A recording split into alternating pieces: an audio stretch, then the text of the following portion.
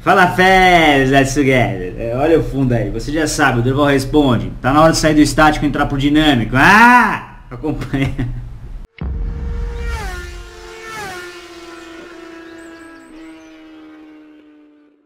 Velho, momento Durval Neves. Você se inscreveu para dia 27? É agora. Hum, domingo, curso comigo? Não? Tá tempo ainda. Vamos lá. O que, que você tá esperando? Eu preciso de você. Você não pediu tanto um curso? Onde você está agora?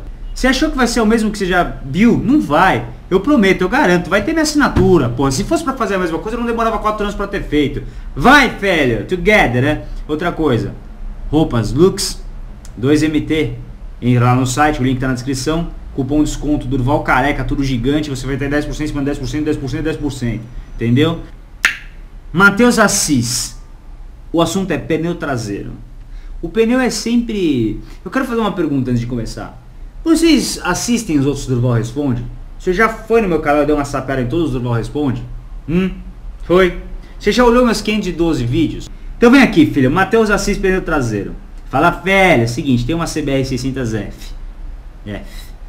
E meu pneu traseiro é um Michelin Paulet Road 3. O Paulet Road é o amor dos aventureiros. Michels. E quando eu estava rodando esses dias, senti a traseira escapar saindo de uma curva, mesmo estando a 30 por hora e com baixa aceleração. Depois senti na reta que ela saiu também. Isso devido ao baixo aquecimento dos pneus juntamente com o asfalto frio, período de frio aqui, aqui também. Ou pode ser algo relacionado ao desgaste ou pressão. Visualmente o pneu está em bom estado. Valeu, Félio, together. Ah, o visualmente o pneu está em bom estado que é o negócio. É, quando eu fui para Romeiros, até fiz uma brincadeira interessante com um cara lá, ele tava com uma multistrada e o pneu dele era um Polo Road 2. E ele já estava com o pneu há 8 anos, sendo que a validade de um pneu é 5 anos, independente que ele está bom ou não. E aí eu falei pro cara, falei, meu, você tá com um pneu de 5 anos. Ele, não, mas olha a aparência do pneu. Aí eu cheguei para ele e falei assim, eu tenho AIDS. Ele, você tá brincando comigo?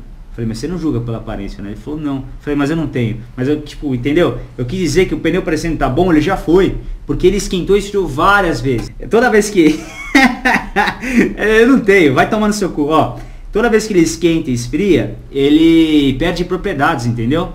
E aí já era o pneu. Então ele tá com a cara boa, mas tá fudido. É, eu, segunda-feira, fui pra Interlagos. Eu cheguei lá, era uma hora da tarde. Segunda-feira passada. E tava um puta frio do caralho, depois começou a chover. Meu, hein, o setup da moto tava normal, tava tudo bem, tudo do jeito que eu andei. Eu entrei na pista, eu deixei até a calibragem um pouquinho mais alta, porque eu já sabia que ia roubar no asfalto que tava gelado. Cara, parecia que eu tava andando com sabão. E a moto com setup que eu sempre andei. Então, por exemplo, o chão frio traz diferenças, traz é, insegurança, é um monte de coisa que acontece. Então, tudo depende de temperatura, clima, pneu, calibragem e tal. Claro, mas assim, é, por exemplo, para ele ter escapado da curva a 30 por hora, em baixa aceleração, pode ser que você deu uma mão graúda ali, né? Ou uma coroa de 90 graus. Então ele pode, ele não tem uma aderência top, que nem vocês acham que tem. Mas eu não vou falar mais que, né? Porque senão parece que eu sou muito repetitivo. Mas vocês fazem questão de usar o piloto 2, usa o piloto 2. Sim, a temperatura influi, a validade do pneu influi, é, tudo influi. Mas quando está gelado, a pista ela é mais estranha. Mesmo você andando com a calibragem que você ama. Então veja bem, Félio, na minha opinião, tá? É, faltou também dizer se isso foi no começo do rolê, no meio, no fim, né? Porque no começo, aí certeza que pista fria, pneu frio, vai escapar. Mas eu acredito que a temperatura foi responsável e o pneu está gelado também, tá? Principalmente por baixa velocidade, do jeito que você vai no acelerador tal. A recomendação que eu te faço é o seguinte: calibre o pneu e põe de uma a duas libras a mais, tanto no dianteiro quanto no traseiro. Tá? Por quê? Porque dependendo de onde você passar, ou quando você para e depois volta na moto se você não vai andar mais, o asfalto fio vai roubar libra do pneu. Tá? Principalmente porque você não está andando na pista, você não, tá andando, você não tem um aquecedor, você não está saindo. Então existe uma variação que pode influenciar aí. Beleza? E vai mais suave porque fio compromete a aderência. Viu, filho? Mas a moto anda mais, mas compromete a aderência. Espero que tenha te ajudado de alguma forma. É? Sim. Giovanni Orto. Durval responde. Começo é do início. Caraca, esse é o assunto. Olha da redação. Vai aqui. Eu vou fazer, vai. Let's together, né? Fala, Chico, beleza? Tudo anda? Ah! Seguinte, eu havia perguntado sobre uma Wind, no entanto, contudo, todavia, por, entretanto, porém, fechei uma Bros 150 2011, modelo ESD, partida elétrica da Freia Disc Lux. É, Wind, Bros, tá. as duas são trail, é isso? Porque, porra, Hã? ah, mas tudo bem. Gostaria de dar um toque sobre o que eu fiz. Beleza. Ah, então um e-mail recomendação. Seria legal dizer para a galera que começa agora na motoca, fiz uma revisão boba, mas importante. Troquei as sapatas traseiras, pois as antigas estão vidrificadas. A sapata traseira é o pneu? Porque vidrificado deve ser pastilha. É. Mas acho que é pastilha, porque vidrificado. Vamos continuar o e-mail. Troquei o óleo, a vela e o filtro de ar. Good. Fiz a revisão das lubrificações e reaperto onde era importante. Good. Os pneus não me agradam muito, mas são novos. Porém, são Magion. Beleza, irmão. Porra, você fez tudo importante, mas o pneu também era importante trocar. Magion, irmão. Você tá maluco. Magion. tipo Jasper, sei lá. Magion, irmão. Magion. Aonde vamos, Magion? Ah, Magion. Enfim, se achar de boa valia, dê a dica do, no Durval Responde, pois como eu estou voltando a andar de moto, nunca andei muito para falar a verdade. Estou praticando cada dia um pouco. Pego a moto para a faculdade, para ir para um lugar perto, mas todo dia pego um pouco. E quando você pega, cresce. Agora é o seguinte, é... se possível, dê a dica sobre manutenção básica necessária nos itens de segurança. E é importante reconhecer que tanto você Quanto à moto, tem limites. Olha só, fiz um e-mail para vocês, tá? Ele tá aqui dando dica para você. Começar de baixo é fundamental, fundamental, fundamental. A linguinha. Ah, agora vai. Fundamental, como sempre diz, seus vídeos. Que aí, caso sou eu. Foda-se, vai morrer no vídeo. Segue a foto da motoca adquirida. É, ainda suja, mas tá valendo. Let's together, não falo, né? PS, captura da imagem dos seus vídeos, maninho. Repare que o número das visualizações e likes, né? Aí já é comigo, deixa comigo aqui. Olha, filhos, ele está dizendo aqui é o seguinte, vou resumir esse e-mail. Que quando você pega uma moto, isso é normal, sem ser a moto zero, usada, o que, que você faz, independente de qualquer coisa? Você troca óleo e filtro, já. Ah, mas o cara trocou, tá, não sei o que, foda-se, óleo e filtro. Óleo e filtro, você vai trocar, mesmo que o cara trocou ou não. Você não sabe o que o cara colocou lá, você não sabe como é que é. Você acha que todo mundo é cuidadoso? É? A 90% dos caras é porco, entendeu? O cara faz da tapa, já vi vários caras que dá tapinha de revisão para vender moto. Você é louco. Você tá de brincadeira. Óleo e filtro você troca, certo? Aí ele trocou a pastilha traseira que estava vidrificada e os pneus ele manteve porque medium é um puta pneu.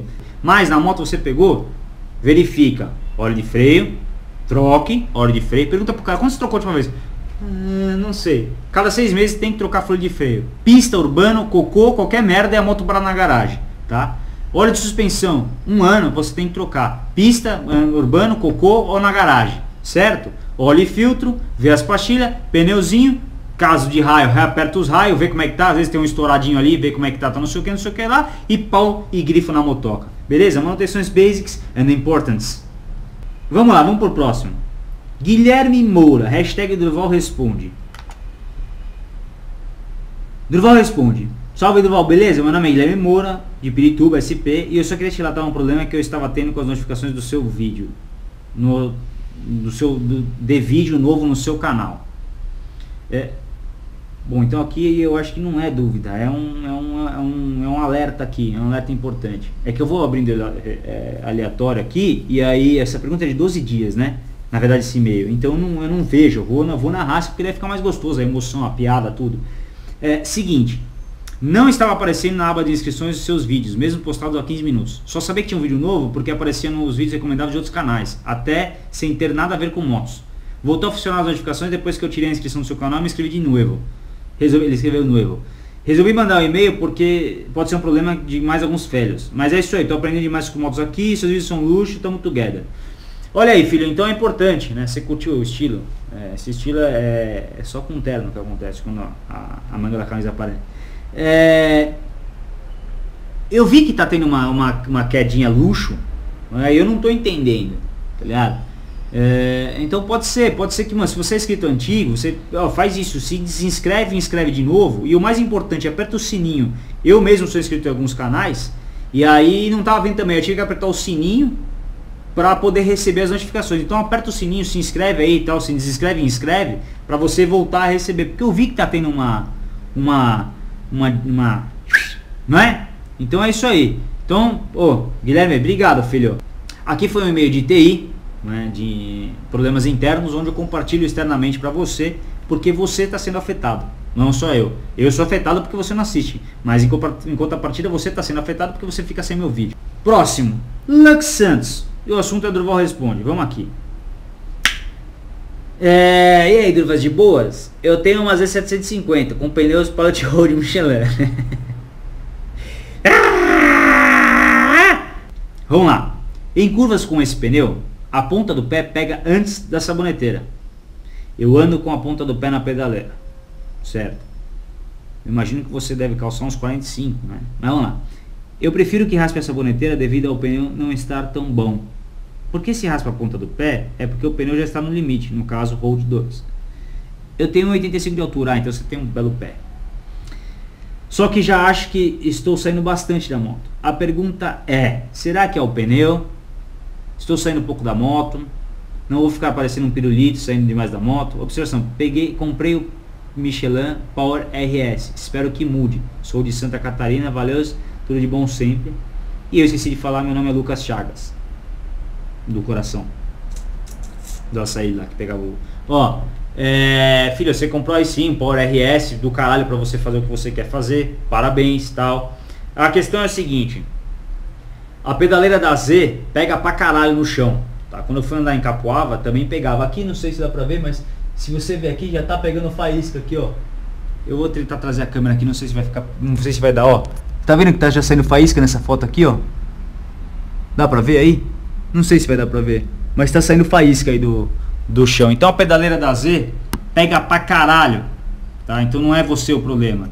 E sim, saia mais da moto. Você é alto, então facilmente você vai raspar a saboneteira. Olha só, existe o pendular e se pendurar. Se você está pendulando, não tem problema você sair bastante da moto. Inclusive é até bom, porque você limita a inclinação. Se caso tiver alguma diferença entre o asfalto, você vai sentir menos e a moto vai transferir menos e vai se comportar melhor, porque não está você lá em cima, você está mais para fora, então a suspensão está mais livre para trabalhar. E você só tem melhoria na curva quando você está pendulando. Então pendular é excelente, tá? Então não tem nenhum problema pendular. Só não pode pendurar, é isso. E agora, se o Polo Tiro já estava pegando, com o Polo RS vai pegar mais ainda. Eu sugiro você tirar as travinhas do pneu, certo? A pedaleira da Z, não dá pra ver essa foto, mas eu acho que não tem regulagem, senão eu também subiria um pelinho, porque, puta, vai moer pra caralho, velho. É normal. Vai moer, velho. Vai moer. Luiz Gabriel Morales, Moraes. Durval responde. R3 em marcha muito lenta. Vamos lá. Fala Chico, tamo together. Ah! Isso é porque tá é só o ano lá embaixo. Primeiro já quero agradecer pelas informações compartilhadas com a comunidade motociclística. Muitas já me foram muito úteis em diversas situações adversas e é sempre bom saber o que está acontecendo com a motoca durante a pilotagem. Obrigado, Fê. Sem me estender muito, duas dúvidas simples, mas sem se estender. Estou saindo de uma Phaser 250 e sempre usei marcha muito lenta. 1000 RPM 900, por mais por ser mais silencioso. Gostaria de saber se isso traz algum dano ao motor. Nunca senti nada estranho em 85 mil km de pura diversão. Caralho! Phaser 250, 85 mil km de pura diversão. Chupa! É, essa é uma pergunta mecânica, né? Eu já falei que não sou mecânico. Eu vou chutar aqui um chute por experiência. Como é moto injeção, você não sente, mas marcha lenta e moto carburada ela morre. É, eu não sei se tem algum, se tem algum problema tá? É, de andar com a marcha muito lenta. Eu acho que fica um pouco mais difícil de sair de farol se você não está acostumado com a embreagem e tal, enfim. Pois você está acostumado com a moto, maravilha. Ou então a técnica de bomba e sai. Mas carburada, se eu usar a Husky a marcha muito lenta, ela morre. Então tem essa questão aí do sair de farol não com a marcha lenta. Mas de, de se dar problema, não sei te falar. Tá? Acredito que não, mas aí pergunta para um mecânico que ele vai saber te falar melhor. Mas o mecânico que eu falo não é naquele que vocês gostaram. Esse aí não vai te levar em nada, né, velho? É um mecânico ponta. É um mecânico que você fala, você tem. O mecânico que eu mando você procurar é aquele mecânico que você se sente constrangente chamar o cara de mecânico. Porque o cara já é engenheiro, o cara já é fudido, é preparador, entendeu? Você fala mecânico porque só tem mecânico lá na versão, mas é já um preparador. Muito bem. La próxima. 85 mil km. E partindo para uma YZFR3. Não dá para colocar só R3, tem que ser YZFR3. Né? RG 37428, número de chassi. Né? Ó, que pelo que eu vi, não tem link na suspensão traseira, vai direto na balança, com a Duke 390. E eu gostaria de saber como essa configuração se comporta, pois eu vi pessoas falando mal, e apenas porque não tem o link.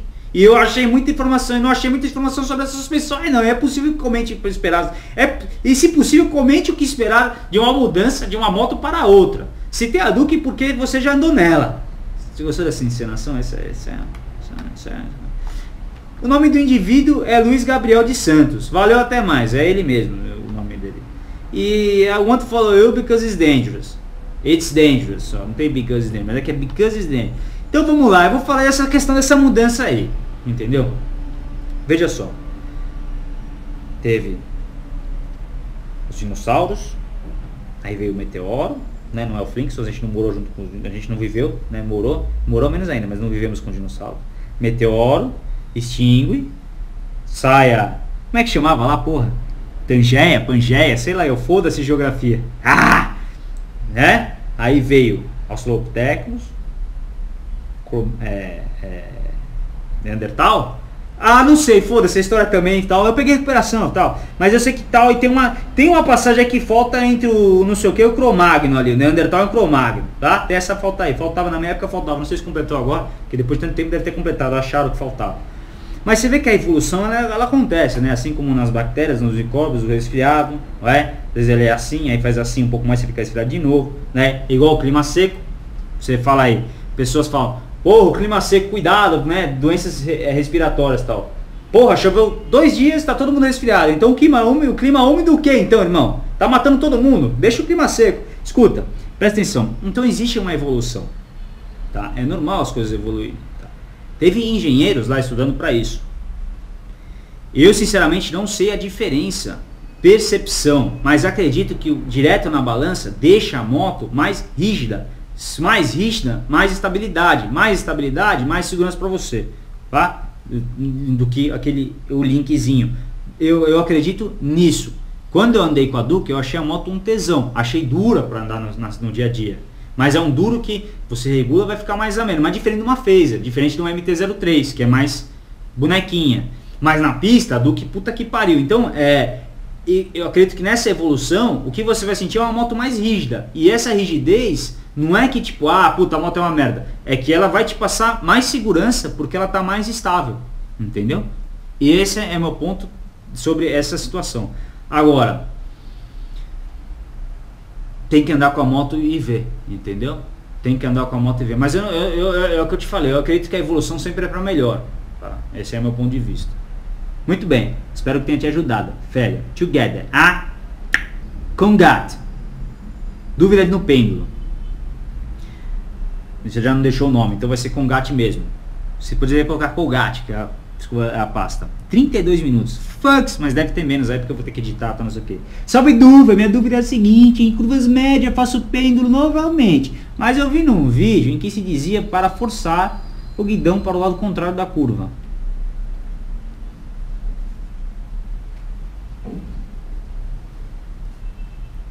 Pois a moto iria descer a dianteira com mais facilidade. Resolvi testar e funcionou. Contudo, fiquei receoso pois parece que ela vai perder a dianteira com muito mais facilidade em desníveis. Outro detalhe é que fazendo isso, parece que começamos a nos desentender e ela quer brigar comigo. E aí você tá cagando já no pau, porque quando você começa a brigar com a moto, o chão vai ser o seu próximo coleguinha, uma vez que você já tá brigando com a moto. Então você tem que ser avatarzinho com ela, lindo, para deixar você em pé e não te levar ao sol. Me fazendo ter uma pegada mais rígida ao guidão, ou seja, pilotando mais tenso, né, mais cagado não jogando peso nos ombros sobre a mesma. Confio no meu pneu que é um Rosso 2. Porra, você é Pirelli? Não, não sou, tanto faz, mas tipo. É... em uma Ninja 250. Ou é melhor deixar essa técnica de lado e ficar com um pêndulo tradicional? Olha, filho, é, precisa primeiro ver onde você assistiu. O problema é A internet é maravilhosa, mas ao mesmo tempo que ela é maravilhosa, faz com que muitas pessoas se tornem alguém, não é? E às vezes eram burros que passam a ser jumentos, mas como tem bastante conteúdo no canal ou número de visualizações, não sei o se tornam importantes. Ou você acredita que o cara é fudido por causa daquilo. E não é. Muitos são curso livre. Então não é assim. Tá? É, é que hoje todo mundo pode. Eu mesmo, se eu quiser fazer dicas de cirurgia aqui, eu posso. Falar como é que faz, não sei o que porque como eu tive três cirurgias, eu acho que eu tô apto a falar de cirurgia da clavícula, porque como eu fui operado, eu sei. Porra, eu tava dormindo, eu não sei nem o que, que aconteceu. Como é que eu vou falar de, de é, suturação aqui, de placa, qual modelo de placa usar, o caralho, eu não sei nada. Mas porque eu já passei pela situação, eu acho que eu posso ensinar. E não é assim. Para você ensinar, você tem que ter um conhecimento, tem que ter estudado aquilo, você tem que ter passado, você tem que ter sido certificado por um outro piloto para poder lecionar alguma coisa nessa porra, entendeu? É que hoje com a internet, com as coisas do jeito que estão, todo mundo acha que pode tudo, fazer tudo, caralho, dá tudo. E tem plateia para isso. Então é, toma cuidado, filho. Tá? É, é essa é a, é a minha humilde opinião. E agora eu sou obrigado a consertar a sua cabeça, né? Então você imagina aqui, isso é, o maior, isso é a maior reclamação de mecânicos. Quando você leva a moto para um caralho fazer uma cagada e você manda para um cara bom para desfazer a cagada que ele fez e aí arrumar a moto.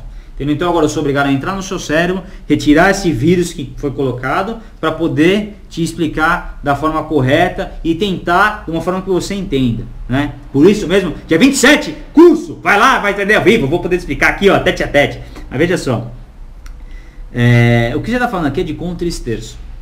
O contra-esterço provavelmente o cara te falou de empurrar o guidão, porque para muita gente que não anda de moto, o cara que assiste o vídeo e tal, não sei o que, não faz sentido o guidão ir para a esquerda e a moto entrar para a direita. O guidão é para a direita e a moto entrar para a esquerda. Isso devido ao formato do pneu, côncavo, tá? Então ela faz esse sentido, mas o cara não entende. Então é mais fácil eu te falar que se você empurrar a mão para a direita, a moto vai para a direita, e você empurrar a mão esquerda para a esquerda, ela vai para a esquerda, do que falar que é o contrário, que não é? fica mais fácil. Só que, meu, isso é uma coisa sutil. Quando você pendula, você já faz automático. Se você empurrar com tudo e fazer isso, você vai morrer. Entendeu? Outra coisa, Pêndulo só, o contra-esteiro só funciona acima de 60 km por hora. Abaixo você não está fazendo nada. Você vai se matar. Nem pode funcionar porque você está costurando um trânsito, você está manobrando a moto. Imagina se ter que fazer o que, que é? Virou carro com, com, com porra de engate lá, com charrete. Gostou? Carreta, que não veio, charrete, carreta tal. Você é louco. Então, tipo, ó, Faça o pêndulo normal, não fica fazendo isso, não fica pensando. O contexto é uma coisa natural. Você pode usar o contexto para sair de uma situação de risco, vai ter no curso. Para fazer, é, para sair de um high side, vai ter no curso. Tem no canal também, se você procurar vídeos antigos, 2013, 2014, vai se Eu já expliquei. Eu explico, eu explico no canal, eu explico.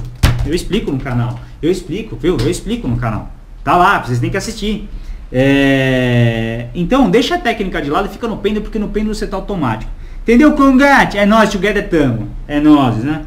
Meu Deus do céu, por que, que as pessoas fazem isso? Por que que, por que que, por que que, por que que as pessoas querem ensinar o que não sabem ensinar? É isso que é foda. Caralho, dá pra você fazer tanta coisa. Arranca dente, pinta o cabelo, mostra a bunda, faz um react.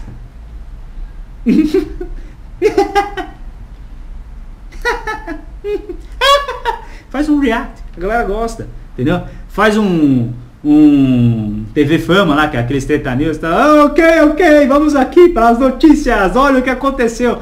Ah, não vai tomar no cu. Ó aqui, presta atenção. É, olha, ó, o Luiz Fernando, vamos lá. Alteração de ponto da suspensão dianteira. Aí fudeu, hein? Agora vai. Durval, meu velho, de boa, mano. Eu tô, você tá bem? Precisa ver se você tá bem, porque esse e-mail aí, né, nesse, nesse, nesse tipo de assunto, precisa ver se você tá bem. Estou mandando um e-mail, pois acho que terei mais chance de ser respondido do que se fosse postar como um comentário algum vídeo seu. Sim, eu preferi centralizar nos e-mails porque não dá para responder tudo. Então eu não respondo direct, eu não respondo face, eu não respondo porra nenhuma, eu respondo e-mail. Alguns eu respondo, outros eu ponho no Durval Responde. Tá? Se já expliquei, se for e-mails que eu já falei, eu não respondo porque eu posso me dar no direito de não responder, porque já tem um vídeo, você não deu, você não se deu o direito de procurar, entendeu? Então é isso aí. Então vamos lá. Estou mandando. Então, minha dúvida é a seguinte: tem uma Ninja 300 2013. E como você sabe, o guidão dela é um pouco mais alto do que o da outra carenada qualquer, do que o de uma outra o de que do que de uma outra carenada qualquer. Então, em busca de mais esportividade, vi muitos vídeos de pessoas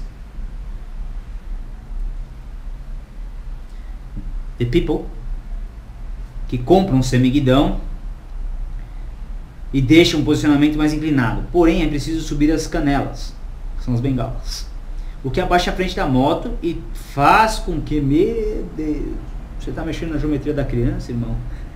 Meu Deus! E faz com que as mesas peguem mais embaixo das canelas. Fiz o procedimento por sentir muita diferença. É óbvio, irmão, na moto. Posso dizer que ficou mais perigosa. É óbvio, irmão, depende, mas é óbvio. Em curvas a frente fica mais instável e dá medo. Parece que vai sair de frente. Eu não sei também se tem a ver com os desvios do asfalto. A moto tem dado aquela balançada, porém os pneus são novos. Você pode me ajudar? Eu vou te ajudar, você vai, você vai se matar. Hoje estarei voltando, graças a Deus os semeidões originais e da moto, mas eu gostaria que me desse uma ajuda para esclarecer e perceber após a mudança. Desde a ah, outra, tava demorando no vídeo, vai. Desde já agradeço e obrigado pelos seus vídeos. Hoje em dia, nego só quer fazer vídeo dando pau, mas realmente falar sobre motocicleta ninguém quer. Abraços. É, ninguém quer. E o trouxa aqui fala e ninguém escuta também. Então fala que eu te escuto. Né? É, muito bem. É, bom, filho, olha só, volta pro original, tá? Mexer em geometria de moto é a maior cagada que existe se você não sabe o que você está fazendo. Quando você desce a mesa um milímetro, você já está alterando totalmente a moto. 2 milímetros já está já tá em emergência. 5 milímetros você vai morrer. Entendeu? É, não pode alterar assim. Às vezes que eu alterei geometria de moto, eu estava na pista, estava com um preparador do lado, gostou que falando aqui? Preparador do lado, testamos, não sair para volta, não sair para virar tempo. E aí tinha-se o feeling da moto, porque estava nas mesmas condições, com o mesmo pneu, mesma temperatura, tudo igual para saber a diferença da motocicleta. Se você faz isso e vai andar num ambiente diferente, numa estrada nova, cara 4, você vai se matar.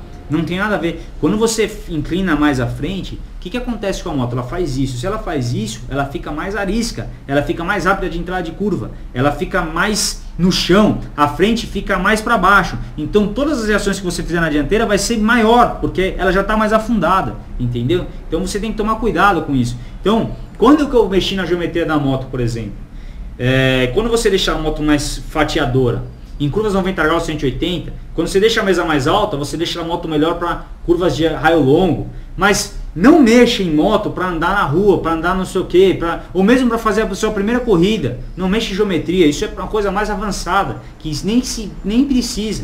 Entendeu? É, é, é, raro. É o cara que está pegando pelo do pelo. Não vai fazer. Eu nunca mexi em geometria de moto para andar na rua. Para com isso. Você põe um semiguidão lá e mantém a altura original que está.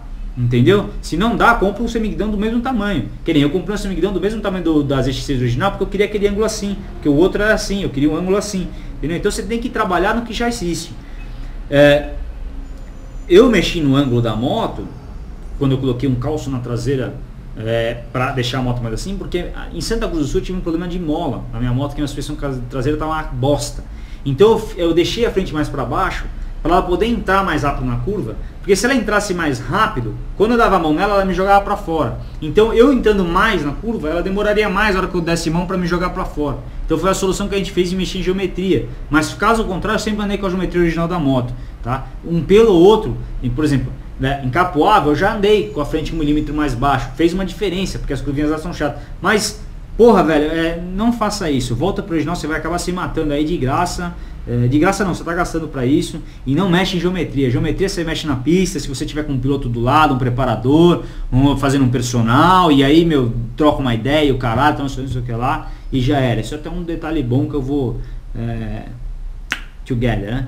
Bom, filhos, eu espero que vocês tenham ficado satisfeitos, munidos de informação. Aguardem o próximo vídeo, Durval Responde, tamo together, se inscreve no canal, deixa like, acompanha, caralho, tamo together, de novo. E logo menos a gente tá com 100 mil inscritos, irmão. Nem demorou 4 anos para isso acontecer. Vamos lá, vamos crescer essa porra, tá bom? Velho, wait trust.